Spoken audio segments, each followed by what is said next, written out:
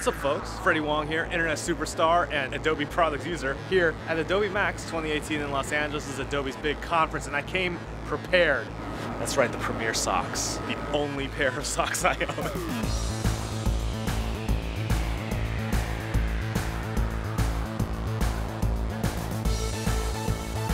They look cool, Dad, look cool.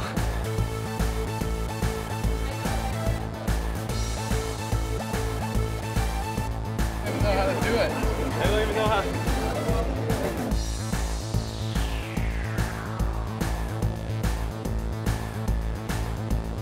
Great, come on in. I just need you to fill out this um, form. it. Actually, uh, it was one of the jokes. It's like, what's harder, getting someone to watch a new Netflix show or getting someone to listen to Listen a to a podcast? podcast. It's way harder. Yeah. Right? Yeah, yeah. Thank you very much. Yeah, don't worry.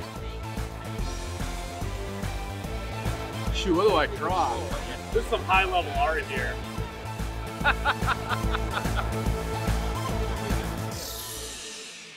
Adobe Max this year was fun, crowded. There was a lot of cool stuff to see, a lot of cool vendors. If I were to sum up, I think what the takeaway from this year's event was, it would be that AI and machine learning seems to be making its way into touching creative workflows with the goal of making repetitive, annoying tasks that we have to do easier and faster. You know, anything that can make the boring parts of uh, the creative sort of aspect of editing or motion graphics or visual effects faster. In my book, like I'll take that any day of the week.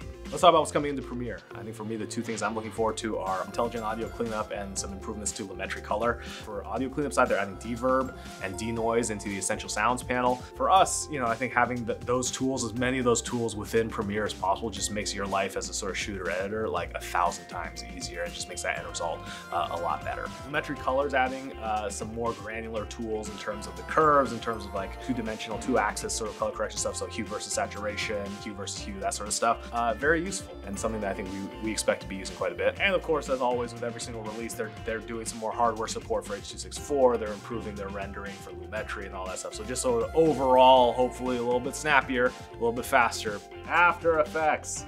After Effects, I'll tell you the one thing that I saw uh, for After Effects that I'm the most excited about is that Mocha is finally built into After Effects. We don't have to round trip and like ignore the registration card every single time you click on use Mocha. Finally, our cell phone shots and our computer monitor shots are gonna go a lot faster. In addition to that, they're doing more stuff with the Puppet tool. We've used Puppet tool for the face morph effect. Obviously, that's sort of not the way most people use Puppet tool. I think most people use Puppet tool for animating sort of 2D characters, stuff like that. Again, that's gonna be very helpful for doing those kinds of animations as well. Expression engines finally in JavaScript. GPU acceleration is also going into the After Effects stuff as well. They're doing nine more plugins and stuff is getting faster. I mean, more do you want? We run a podcast called Story Break, and we run that through Adobe Audition. Uh, the audio cleanup tools that I talked about in Premiere also showing up uh, in Audition. Any sort of tool that can just intelligently reduce noise and clean up the reverb on that stuff is going to save us a lot of time. So that's something that we're going to be utilizing right away. So that's everything we're looking forward to on Adobe Audition, Premiere, uh, and After Effects.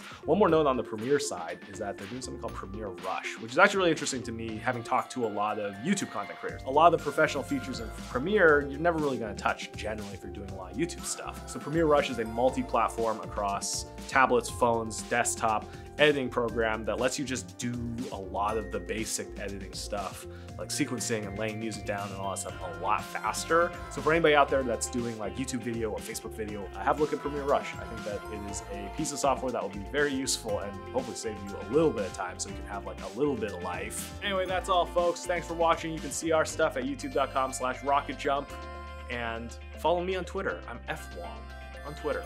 Bing! I didn't add it.